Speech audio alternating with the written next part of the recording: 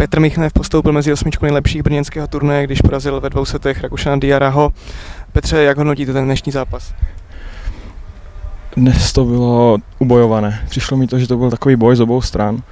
Míče moc neletěli, bylo to mokré, pršelo celou noc, takže, takže, takže jsme se nemohli moc opírat o servis, takže to byl, to byl boj. No. A já jsem naštěstí udělal méně chyb no, než soupeř. Jaký byl rozdíl mezi těma dvěma setama? Ten první byl jednoznačný, v tom druhém to šlo téměř až do tiebreaku.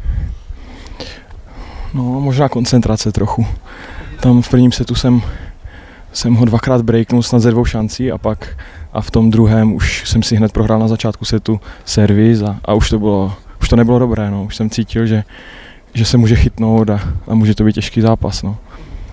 Neznervoval jsem si trochu, když jste tam měl problém s, těma, s tím proměněním matchballu trochu, byla tam i nějaká ta dvojchyba, tak neznervoval se trochu? Jo, znervoznil jsem hodně, už jsem si říkal, že, že to jsem prostě, je to už prohraju ten zápas, jak jsem dal toho debla na tu zhoru, tak říkám, to jsem ale, to jsem blb prostě.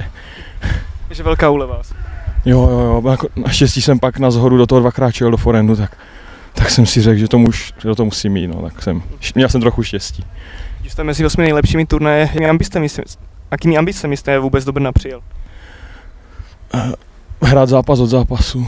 Nemám žádné, jako nedávám si před turnajem cíle žádné, takže spíš si to teď čtvrtfinále budu chtít užít. Dva zápasy už jsem vyhrál docela těžké, takže snad, snad sebevědomí bude nějaké v tom, v tom čtvrt, tak uvidíme, jak to půjde. Těším se na ten zápas a chci si ho užít.